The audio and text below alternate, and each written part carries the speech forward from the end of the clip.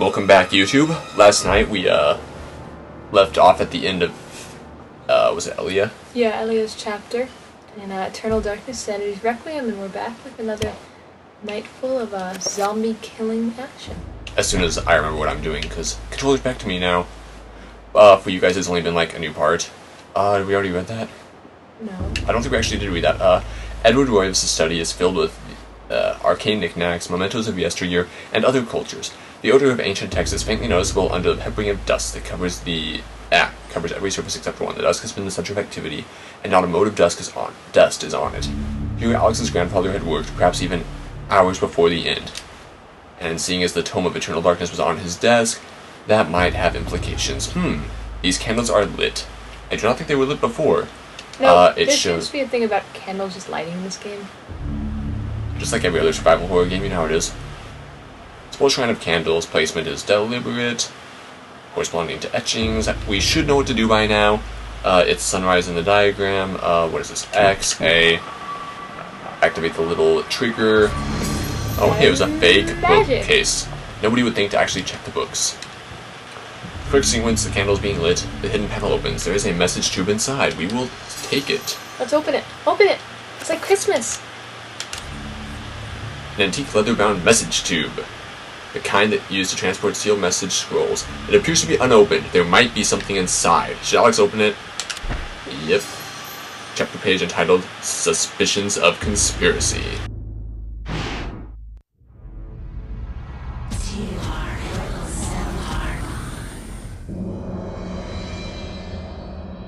It's a giant eye. Your presence is welcomed, Majesty.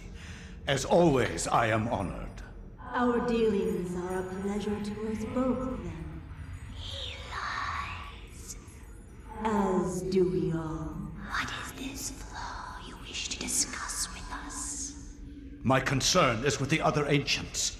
Ulyaoth, Chattur'gha. Should they unite with Mantorok, they will doubtlessly possess enough power to vanquish even thee.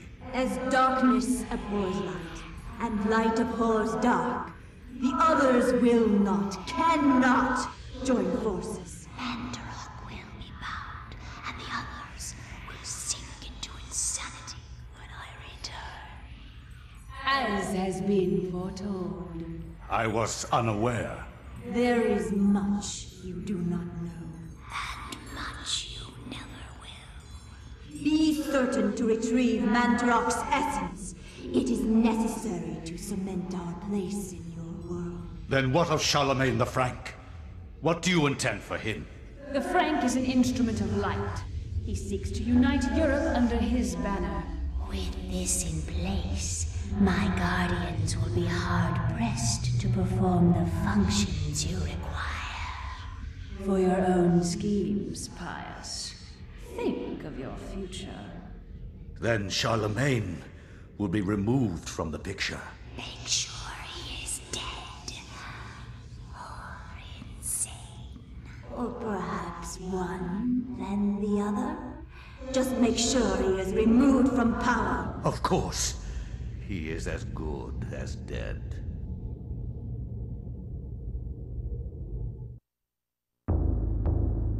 After the cutscene has ended, the message tube is no longer needed. Alex discards it. So there we have the first uh, vision of. We don't want to use that yet.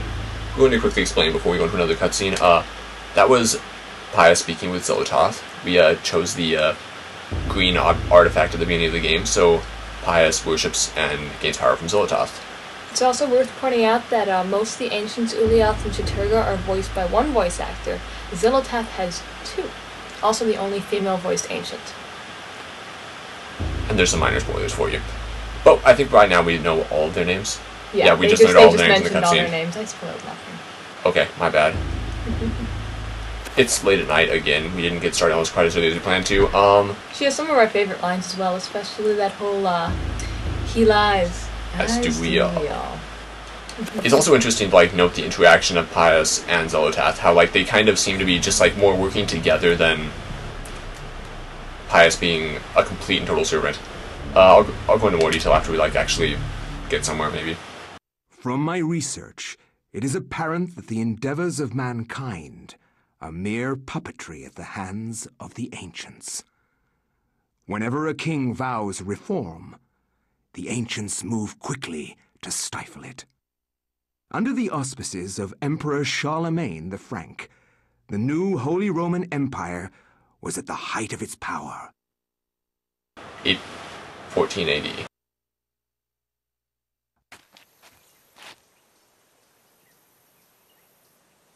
Mit ad dominum et imperatorum nostrum, Carolum magnum francum. Deliver this to our Lord and Emperor Charlemagne the Frank.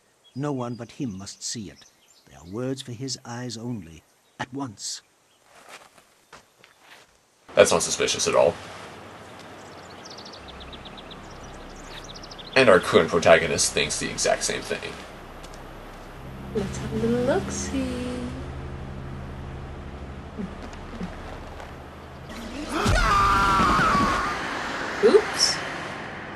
Apparently, it was words for the. What sorcery is this? A spell? I am bewitched.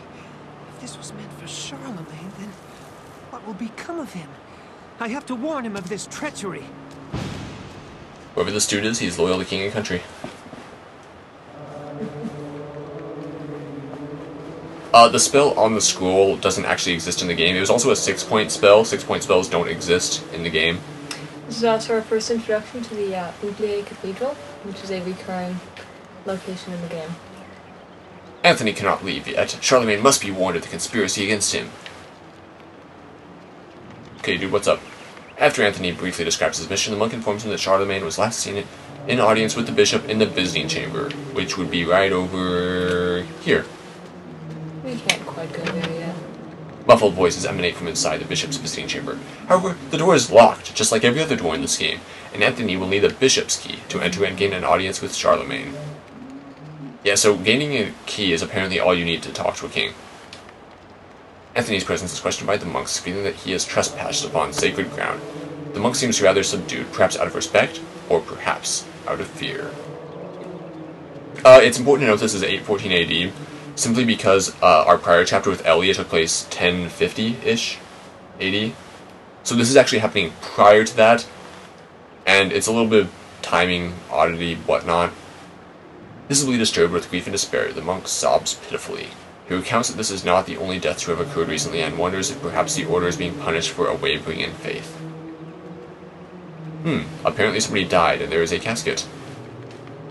Monk cordially greets Anthony, however, he brings grave news of the loss of one of his order who fell from the tower to his death. Yeah, that could hurt.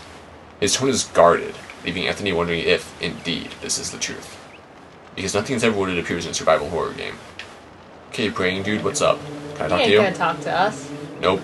He's too good for Um, this. let's take a look at the body. A funeral casket made from unfinished wood. It is not properly sealed and can probably be opened. Okay, would Anthony really open the casket? No, but let's do it anyway. Oh my god, what is Lord. it? This devil's work. We should get out of here. Is it just me or does it look like fingers are coming from his chest? Proven That would be his ribs. feared the most. This poor man has been the victim of great evil. Look how his body has been defiled, as if something has burst out from inside him. Here, take this for your protection. And find the bishop.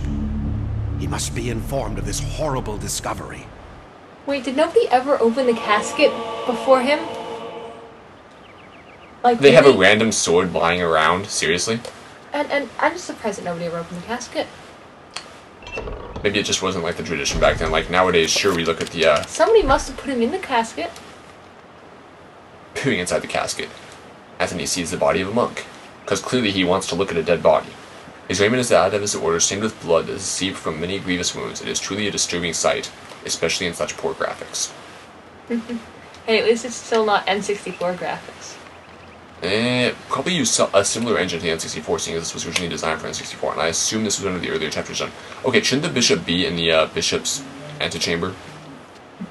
and so all of the priests just leave, or the monks leave for no apparent reason.